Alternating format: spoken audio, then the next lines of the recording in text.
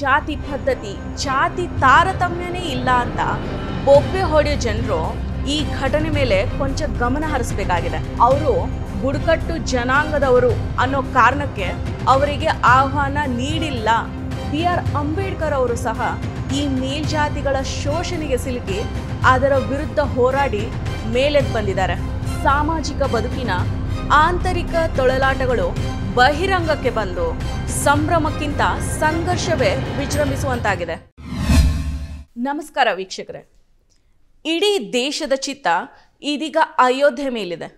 ಅಯೋಧ್ಯೆಯ ರಾಮ ಈ ಮಣ್ಣಿನ ಬಹುದೊಡ್ಡ ಸಮುದಾಯದ ಪಾಲಿಗೆ ಆದರ್ಶ ಪುರುಷ. ರಾಮನಿಗೆ ಒಂದಲ್ಲ, ಸಾವಿರ ಮಂದಿರ ಕಟ್ಟಿದ್ರು ಅದಕ್ಕೆ ಯಾರೂ ಅಡ್ಡಿ ಮಾಡೋದಿಲ್ಲ. ಆದರೆ ರಾಮ ಮಂದಿರದ ಉತ್ಸವಕ್ಕೆ ಅಂತ ದಲಿತರು ದೇಣಿಗೆ ನೀಡಿದ್ರೆ ಅವರು ದಲಿತರು ಅನ್ನೋ ಕಾರಣಕ್ಕೆ ಅವರ ಹಣವನ್ನು ವಾಪಸ್ ಕೊಟ್ಟು ರಾಮನ ಹೆಸರಿನಲ್ಲಿ ಅಸ್ಪೃಶ್ಯತೆ ಆಚರಣೆ ಮಾಡಿರೋ ಘಟನೆ ರಾಜಸ್ಥಾನದಲ್ಲಿ ನಡೆದಿದೆ.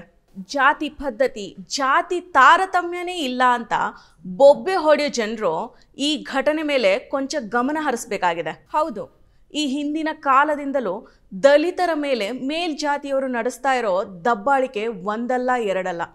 ಪ್ರತಿ ವಿಚಾರಗಳಿಗೂ ದಲಿತರನ್ನ ಕೇವಲವಾಗಿ ನಡೆಸ್ಕೊಂಡು ಅವರಿಗೆ ಮಾನಸಿಕ ಮತ್ತು ದೈಹಿಕ ಹಿಂಸೆ ನೀಡಿದ ಘಟನೆಗಳು ನಮ್ಮ ಮುಂದೆ ಸಾವಿರಾರಿದ್ದಾವೆ ಖುದ್ದು ನಮ್ಮ ಸಂವಿಧಾನ ಶಿಲ್ಪಿ ಬಿ ಆರ್ ಅಂಬೇಡ್ಕರ್ ಅವರು ಸಹ ಈ ಮೇಲ್ಜಾತಿಗಳ ಶೋಷಣೆಗೆ ಸಿಲುಕಿ ಅದರ ವಿರುದ್ಧ ಹೋರಾಡಿ ಮೇಲೆದ್ದು ಬಂದಿದ್ದಾರೆ. ದಲಿತರನ್ನ ಮುನ್ನೆಲೆಗೆ ತರುವಲ್ಲಿ ಪ್ರಮುಖ ಪಾತ್ರನ ವಹಿಸಿದ್ದಾರೆ. ಈ ಹಿಂದಿನಿಂದ ನಡೆದುಕೊಂಡು ಬಂದ ಈ ಜಾತಿ ಪದ್ಧತಿ ಅಂದ್ರೆ ಮೇಲ್ಜಾತಿ ಕೀಳು ಜಾತಿ ಎಂಬ ಭಾವ ಇಂದಿನ ಇಪ್ಪತ್ತೊಂದನೇ ಶತಮಾನದಲ್ಲೂ ಕೂಡ ಹೆಚ್ಚಾಗಿ ಕಂಡುಬರ್ತಾ ಇದೆ. ಇತ್ತೀಚೆಗೆ ದೆಹಲಿಯಲ್ಲಿ ನಡೆದ ನಮ್ಮ ದೇಶದ ಕೀರ್ತಿ ಸಂಸತ್ ಭವನದ ಉದ್ಘಾಟನೆಗೆ ನಮ್ಮ ರಾಷ್ಟ್ರಪತಿ ದ್ರೌಪದಿ ಮುರ್ಮು ಅವರಿಗೆ ಆಹ್ವಾನ ನೀಡಿರಲಿಲ್ಲ. ಅವರು ಬುಡಕಟ್ಟು ಜನಾಂಗದವರು ಅನ್ನೋ ಕಾರಣಕ್ಕೆ ಅವರಿಗೆ ಆಹ್ವಾನ ನೀಡಿಲ್ಲ ಅನ್ನೋ ಆರೋಪಗಳು ಕೇಳಿಬಂದಿದ್ದಾವೆ ಇದಲ್ಲದೆ ಸ್ವಾತಂತ್ರ್ಯ ಬಂದು ಎಪ್ಪತ್ತೈದು ವರ್ಷ ಆದ್ರೂ ಇಂಡಿಯಾ ಐದನೇ ದೊಡ್ಡ ಎಕಾನಮಿಯಾಗಿ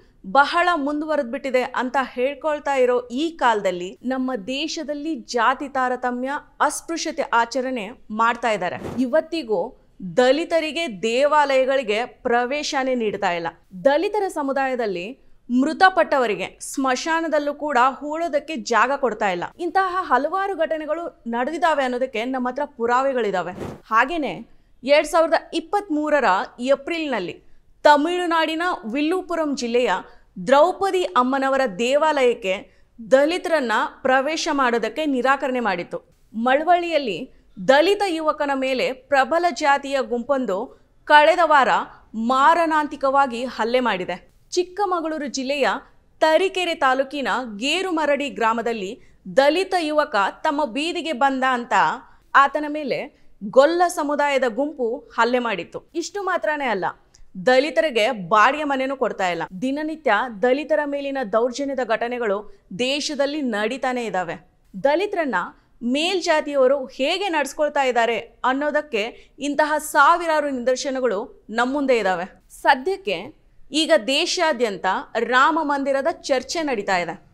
ದೇಶದ ಜನ ದೇವರು ಮತ್ತು ಧರ್ಮದ ಅಮಲಿನಲ್ಲಿ ತೇಲಾಡ್ತಾ ಇದ್ದಾರೆ. ಸಾಮಾಜಿಕ ಬದುಕಿನ ಆಂತರಿಕ ತೊಳಲಾಟಗಳು ಬಹಿರಂಗಕ್ಕೆ ಬಂದು ಸಂಭ್ರಮಕ್ಕಿಂತ ಸಂಘರ್ಷವೇ ವಿಜೃಂಭಿಸುವಂತಾಗಿದೆ. ಇಂತಹ ಸಮಯದಲ್ಲಿ ರಾಮ ಮಂದಿರದ ಉತ್ಸವಕ್ಕಾಗಿ ದಲಿತರು ದೇಣಿಗೆ ನೀಡಿದ್ರೆ ಆ ಹಣವನ್ನು ಕೆಲವು ಪ್ರಬಲ ಜಾತಿಗರು ಅಶುದ್ಧ ಅಂತ ಹೇಳಿ ವಾಪಸ್ ನೀಡಿರೋ ಘಟನೆ ರಾಜಸ್ಥಾನದ ಜಲಾವರ್ ಜಿಲ್ಲೆಯ ಮುಂಡ್ಲಾ ಗ್ರಾಮದಲ್ಲಿ ನಡೆದಿದೆ.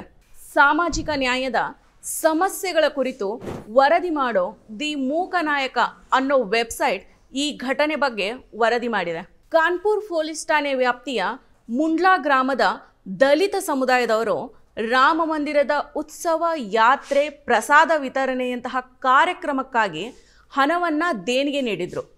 ಆದರೆ ಪ್ರಬಲ ಜಾತಿಯ ಕೆಲವರು ಆ ಹಣವನ್ನು ದಲಿತರಿಗೆ ವಾಪಸ್ ನೀಡಿದ್ದಾರೆ.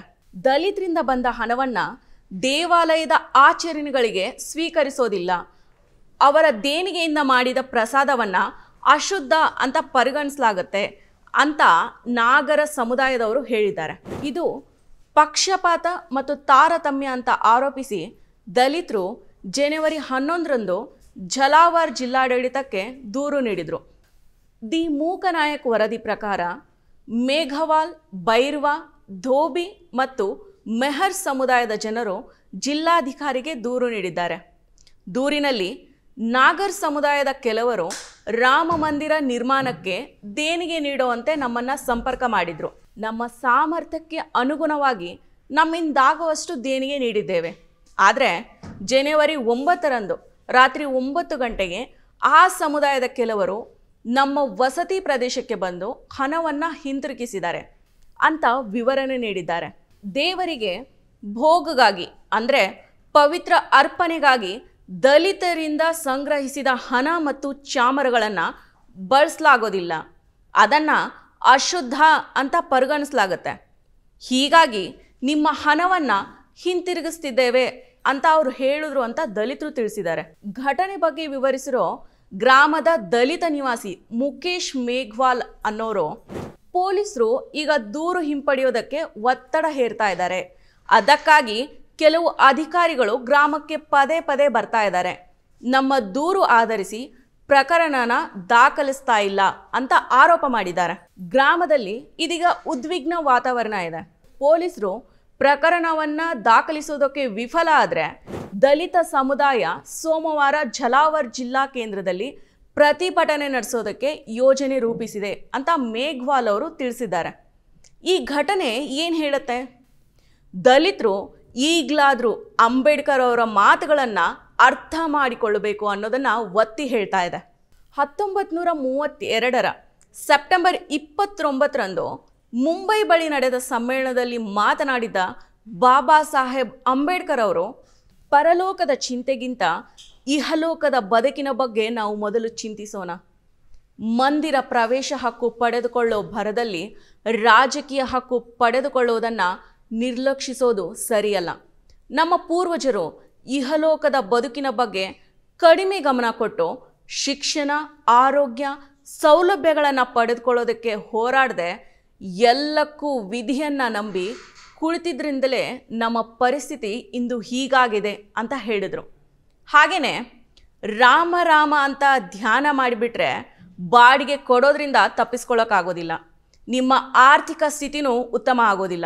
ಸುತ್ತಲಿನ ಜಗತ್ತನ್ನು ನೋಡಿ ಭ್ರಮೆಗೆ ಒಳಗಾಗಬೇಡಿ. ನಿಮ್ಮ ಧ್ಯೇಯ ಏನೆಂಬುದನ್ನು ರೂಪಿಸಿಕೊಳ್ಳಿ. ಆತ್ಮ ಗೌರವದ ಬದುಕನ್ನು ಬಾಳಿರಿ ಎಂದು ಹೇಳಿದ್ದಾರೆ. ರಾಜಕೀಯ ಅಧಿಕಾರವನ್ನು ಜನಾಂಗದ ಅಭ್ಯುದಯಕ್ಕಾಗಿ ಬಳಸಿಕೊಳ್ಳಿ. ಈಗ ನಮ್ಮಲ್ಲಿ ಜಾಗೃತಿ ಮೂಡ್ತಾ ಇದೆ. ಇದು ಅಲ್ಪಕಾಲಕ್ಕೆ ಕೊನೆಗೊಳ್ಳಬಾರದು. ಅನ್ನೋ ಅಂಬೇಡ್ಕರ್ ಅವರ ಮಾತುಗಳನ್ನು ತಿಳಿಬೇಕಾಗಿದೆ ಮತ್ತು ಅರಿಬೇಕಾಗಿದೆ. ನಮಸ್ಕಾರ. ಮತ್ತಷ್ಟು ವಿಶೇಷ ವಿಡಿಯೋಗಳನ್ನು ನೋಡಲು ಮತ್ತು ಹೊಸ ವಿಡಿಯೋಗಳ ಬಗ್ಗೆ ತಿಳಿಯಲು ಈ ದಿನ dot com YouTube channel subscribe ಮಾಡಿ ಮತ್ತು ಬೆಲ್ ಐಕಾನ್ ಕ್ಲಿಕ್ ಮಾಡಿ.